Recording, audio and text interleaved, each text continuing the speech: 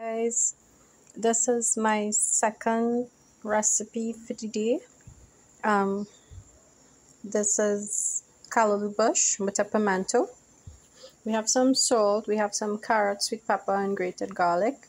We have some okras we have some pumpkin we have a piece of butter. Um, some pimentos celery and here we have some grated coconut and water to throw in the callaloo now we're gonna start to boil this, the bush, and add all the ingredients and let it cook down. See you in a little bit. As you can see, I added all the ingredients to the pot. The pot is boiling. I will add a little more water in a little bit. I just want the callaloo bush to kind of cook down a little bit. And you see all the nice colors there. And a little, we had added about two tablespoons of butter.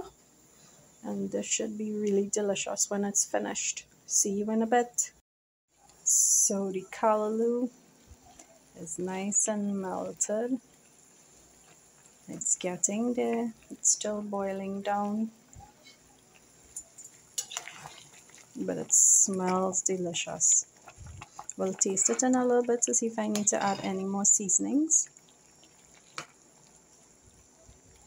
And let you know how it goes. See you in a bit.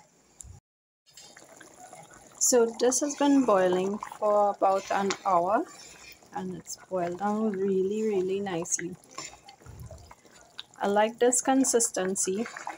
If you like it this way you can probably take it off. But I want it a little bit more mashed up. So I will let it continue to boil for a little bit longer.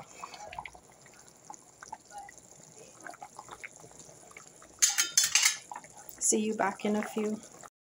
So this is my callaloo. This is the finished product. This is like about an hour and a half after. What I did was let it cool off for a little bit and I put it in the blender and I still have some chunks in there. I didn't blend it totally. This is the consistency. I like it. And this is tasting really nice. I just had a taste because I wanted to taste for seasonings this tasted really good. So I'm just gonna taste again.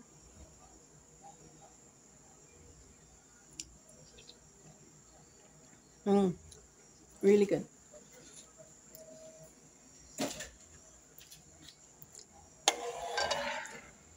Can't wait to have this with my lunch tomorrow.